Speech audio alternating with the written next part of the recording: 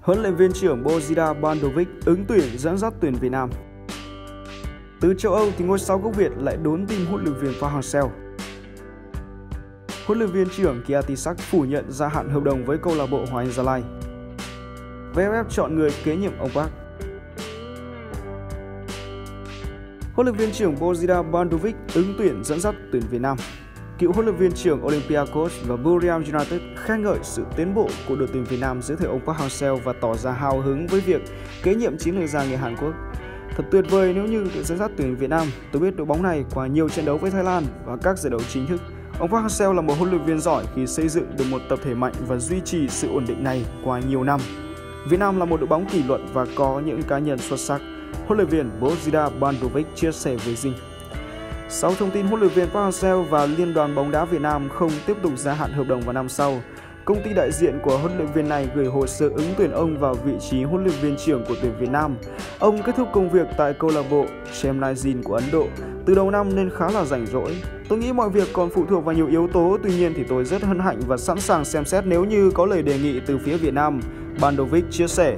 Trước đó thì Bandovic dẫn dắt Buriram United giành hai chiếc vô địch Thai League Á quân năm 2019 và đưa đội này vào vòng 16 của AFC Champions League 2018 và nhận danh hiệu huấn luyện viên hay nhất Thái Lan trong cùng năm. Do là chưa từng dẫn dắt một đội tuyển quốc gia trước đây nên ông tỏ ra khá hào hứng với thử thách mới. Huấn luyện viên này cho biết là mình ấn tượng với mối quan hệ kỳ phùng địch thủ giữa các đội tuyển Đông Nam Á. Việt Nam, Thái Lan và Indonesia là những đội bóng mạnh như nhau, Bandovic nói. Trong dàn tuyển thủ Việt Nam thì Lương Xuân Trường có thời gian ngắn được làm việc với huấn luyện viên trưởng Bozida Bandovic tại Buriram United khi được Hoàng Anh Gia Lai gửi đi cho mượn ở mùa 2019. Tại đây thì Xuân Trường không được thi đấu nhiều.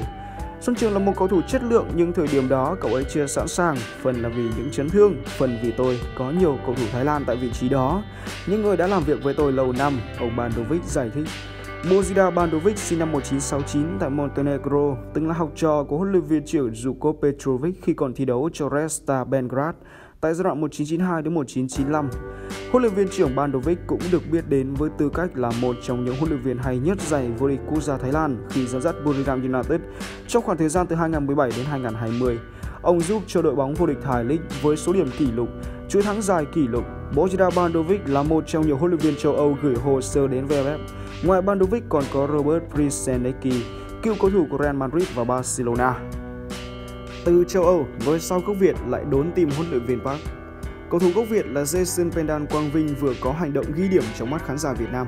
Những ngày qua thì thông tin huấn luyện viên Park Hang-seo quyết định kết thúc hợp đồng với đội tuyển Việt Nam đã nhận được sự quan tâm rất lớn của dư luận.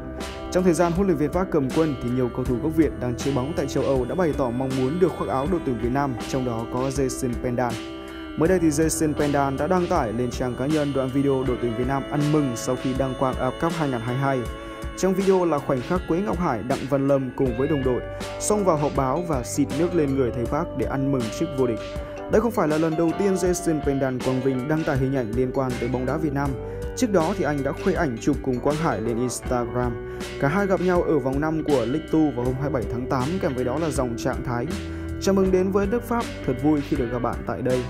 Ở AFF Cup 2021 vừa qua, cầu thủ sinh năm 97 đã bỏ tiền túi để bay sang Singapore theo dõi các trận đấu của đội tuyển Việt Nam trên trang cá nhân Jason đăng một đoạn video cổ vũ thầy trò ông Park Hang-seo. Tinh thần thi đấu không bao giờ bỏ cuộc, những người hâm mộ đầy cuồng nhiệt thật tự hào khi có mặt tại nơi đây, tiến lên các chàng trai Việt Nam hãy chiến đấu hết mình. Jason Pendan từng bày tỏ mong muốn nhập tịch để khoác áo đội tuyển quốc gia Việt Nam.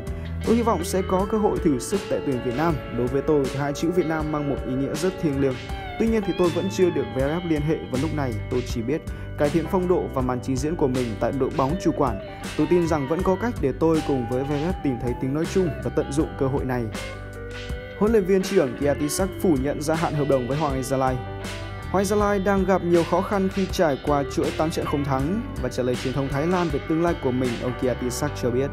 Mọi việc sẽ phải chờ xem kết quả thi đấu của Hoàng Anh Gia Lai năm nay thì Bầu Đức mới có quyết định. Bây giờ chúng tôi cần phải tập trung đến hết mùa giải và trước đây tôi đã nói là chỉ sang giúp Hoàng Anh Gia Lai 2 năm và bây giờ thì thời hạn đã hết. Tôi sẽ nói chuyện với Bầu Đức và gia đình và vợ con để đưa ra quyết định về việc ở lại Việt Nam hay Thái Lan. Trước đó thì có nhiều thông tin cho rằng Liên đoàn bóng đá Thái Lan có lời mời Zico về dẫn dắt đội bóng voi chiến. Tuy nhiên, huấn luyện viên Kiatisak khẳng định ông vẫn chưa có quyết định chính thức. Hiện tại thì nhà cầm quân chỉ muốn cùng với Hoàng Gia Lai vượt qua giai đoạn khó khăn. Đội bóng phố núi sẽ có chuyến làm khách trước Đà Nẵng vào chiều nay ngày 22 tháng 10. Đây sẽ là trận đấu áp lực với cả hai đội bóng và nếu như không thắng Hoàng Gia Lai sẽ bước vào trận đấu thứ 9 không thắng.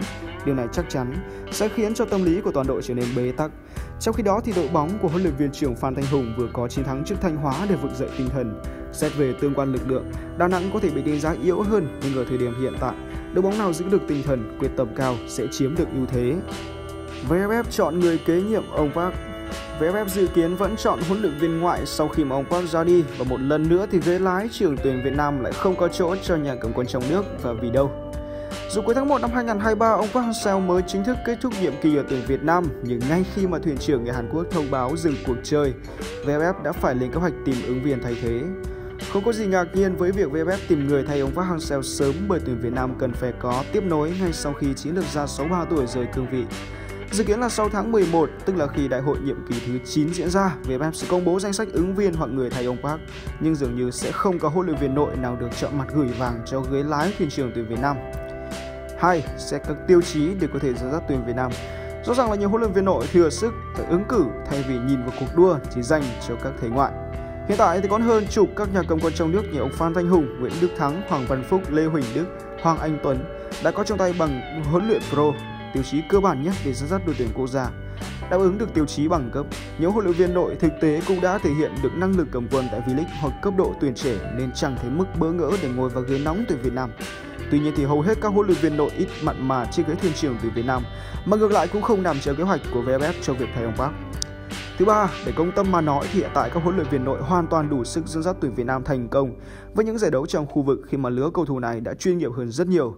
Thế nhưng các huấn luyện viên nội ít nhận được sự tín nhiệm từ VFF cũng như không có gì quá ngạc nhiên vì cái giúp chưa nhiều người thành công từ trước đến nay khi nắm tuyển Việt Nam trong quá khứ. Ngoài ra tuyển Việt Nam vào lúc này không còn quanh quẩn với những mục tiêu trong khu vực, nên buộc phải tìm một huấn luyện viên đẳng cấp nhằm hướng đến thành công lớn hơn nữa. Điển hình như là mục đích giành vé dự World Cup 2026 chẳng hạn.